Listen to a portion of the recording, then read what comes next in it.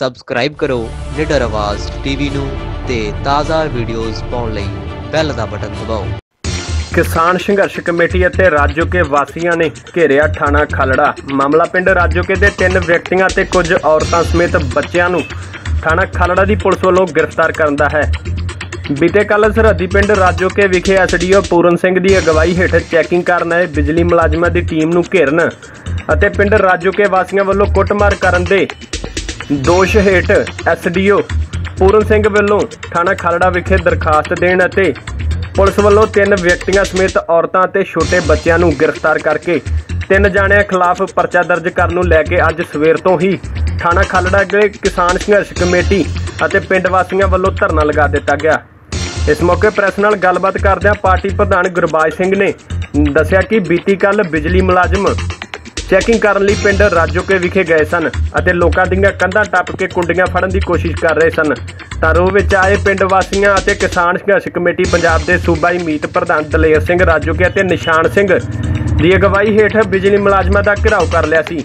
ਪਰ ਬਾਅਦ ਵਿੱਚ ਥਾਣਾ ਖਾਲੜਾ ਦੇ ਐਸਐਚਓ ਹਰਪ੍ਰੀਤ ਸਿੰਘ ਵਿਰਕ ਨੇ ਪਿੰਡ ਵਾਸੀਆਂ ਦੇ ਰੋਹ ਨੂੰ ਸ਼ਾਂਤ ਕਰਦਿਆਂ ਵਿਵਾਦ ਦਾ ਸਮਝੌਤਾ ਵੀ ਕਰਵਾ ਦਿੱਤਾ ਸੀ।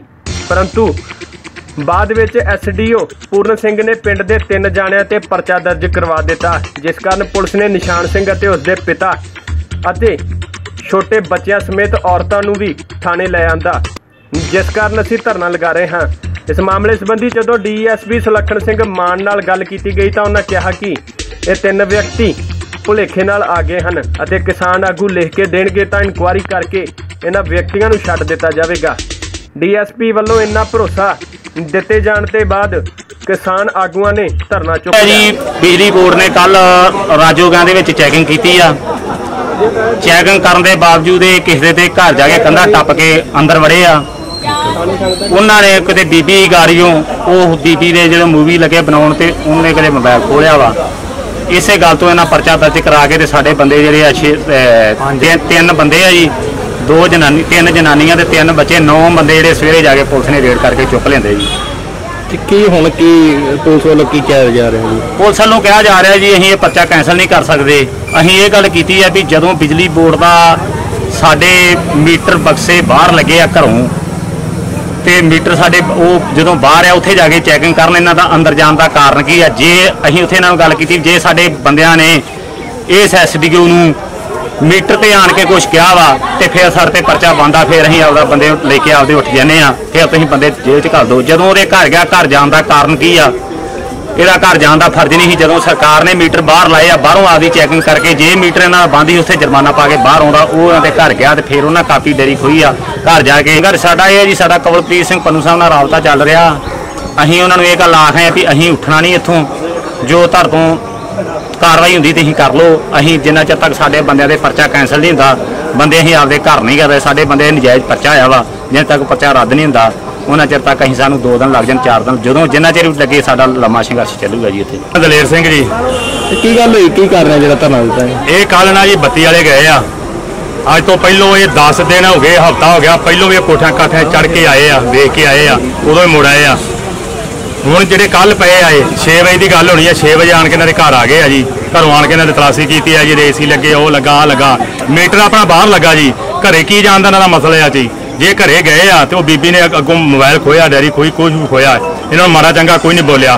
ਪ੍ਰਸ਼ਾਸਨ ਗਿਆ ਏ। ਇਹਨਾਂ ਨੂੰ ਇਹ ਜਲ ਪਾਣੀ ਛਕਾਇਆ, ਇਹਨਾਂ ਨੂੰ ਛਕਾਇਆ, ਮਾੜਾ ਚੰਗਾ ਹੀ ਕਿਸੇ ਨੂੰ ਨਹੀਂ ਬੋਲਿਆ। ਅਸੀਂ ਚੁੱਪ ਕਰਕੇ ਸ਼ਾਂਤਮਈ ਦੇ ਤਰੀਕੇ ਨਾਲ ਉੱਥੇ ਬਹਿ ਗਏ ਆ।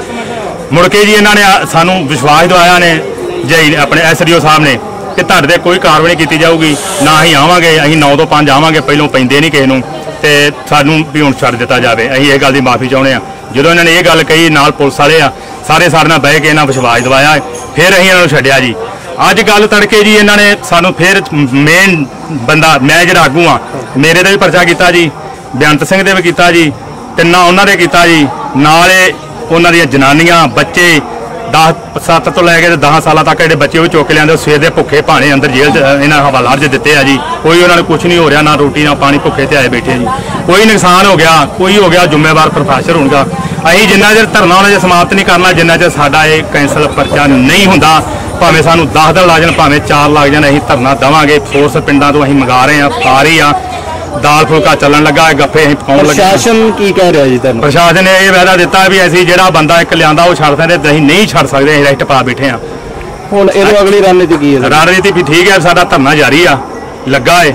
ਛੱਡੋ ਕੈਂਸਲ ਹੋਊ ਤੇ ਅਸੀਂ ਛੱਡਾ ਛੜਾ ਕੇ ਜਾਵਾਂਗੇ ਨਹੀਂ ਤੇ ਧਰਨਾ ਸਾਡਾ ਜਾਰੀ ਹੋਊਗਾ ਜੀ। ਜਿੰਨੀ ਤੱਕ ਇਹ ਹੱਲ ਨਹੀਂ ਹੁੰਦਾ ਜੀ। ਬਿਜਲੀ ਬੋਰਡ ਦੇ ਜਿਹੜੇ ਐਸਪੀਓ ਹੀ ਸਰਦਾਰ ਪੂਰਨ ਸਿੰਘ ਉਹ ਰਾਜੋ ਕੇ ਚੈਕਿੰਗ ਤੇ ਗਏ ਸਨ ਉਥੋਂ ਜਿਹੜਾ ਉਹਨਾਂ ਨੂੰ ਬਕਸੇ ਮੀਟਰ ਜਿਹੜੇ ਦੇ ਬਾਹਰ ਲੱਗੇ ਹੁੰਦੇ ਉਹ ਚੈਕਿੰਗ ਦੇ ਵਿੱਚ ਇਹਨਾਂ ਦਾ ਕੋਈ ਨਿਸ਼ਾਨ ਸਿੰਘ ਉੱਥੇ ਹੈਗੇ ਨੇ। ਉਹਨਾਂ ਨਾਲ ਇਹਦਾ ਕੋਈ ਤਕਰਾਰ ਜਿਹਾ ਹੋਇਆ ਸੀ। ਉਹਦਾ ਕੋਈ ਗਵਾਂਢੀ ਹੀ ਬੇਅੰਤ ਸਿੰਘ, ਜਿਹੜਾ ਮੇਨ ਅਗਰੈਸਰ ਉੱਥੇ ਹੋਇਆ ਸੀ। ਉਹਦੇ ਸੰਬੰਧ ਵਿੱਚ ਅੱਜ ਦੋ ਤਿੰਨ ਬੰਦੇ ਅਸੀਂ ਰੌਂਡ ਅਪ ਕਰਕੇ ਲਿਆਂਦੇ ਸੀ। ਇਹਨਾਂ ਨੇ ਉੱਚ ਅਫਸਰਾਂ ਨੂੰ ਦਰਖਾਸਤਾਂ ਦਿੱਤੀਆਂ ਵੀ ਸਾਡੇ ਤੇ ਇਹ ਜਿਹੜਾ ਕੱਲ ਦਾ ਮੁਕੱਦਮਾ ਬੀਬੀ ਬੋਰਡ ਨੇ ਕਰਾਇਆ ਇਹ ਝੂਠਾ ਹੈ। ਇਹਨੂੰ ਇਨਵੈਸਟੀਗੇਟ ਕੀਤਾ ਜਾਵੇ। ਹਾਲ ਦੀ ਘੜੀ ਇਹਦੀ ਅਸੀਂ ਇਨਕੁਆਰੀ ਇਨਕੁਆਰੀ ਕਰਕੇ ਇਨਵੈਸਟੀਗੇਟ ਕਰਾਂਗੇ। ਕਿ ਵਾਇਆ ਹੀ ਇਹਨਾਂ ਬੰਦਿਆਂ ਦੇ ਕਿਹੜੇ ਕਿਹੜੇ ਬੰਦੇ ਜਿਹੜੇ ਸਹੀ ਮੁਲਜ਼ਮ ਨੇ ਜਿਨ੍ਹਾਂ ਨੇ ਉੱਥੇ ਜਿਨ੍ਹਾਂ ਨੇ ਗਲਤੀ ਕੀਤੀ ਹੈ ਜਿਨੇ ਦੋਸ਼ੀ ਨੇ ਉਹਨਾਂ ਨੂੰ ਅਸੀਂ ਅਰੈਸਟ ਪਾਵਾਂਗੇ।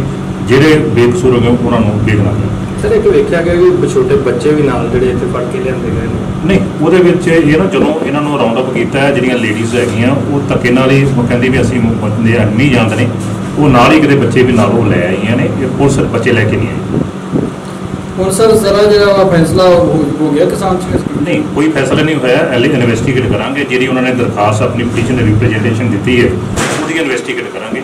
ਜਿਵੇਂ ਦੀ ਉਹ ਹੋ ਗਏ ਆ ਉਸੇ ਹਾਲਾਤ ਦੇ ਨਾਲ ਉਹ ਕਾਰਵਾਈ ਕਰ ਦੇਣਾ ਉਸ ਸਰ ਕਿ ਦਰਖਾਸਤ ਕਿਹਨੂੰ ਮਾਰ ਕੀਤੀ ਗਈ ਸੀ? ਦਰਖਤ ਮੈਂ ਡੀਐਸਪੀ ਹੈ। ਡੀਐਸਪੀ ਮੈਂ ਹੀ ਇਨਵੈਸਟੀਗੇਟ ਕਰੂੰਗਾ। Okay thank you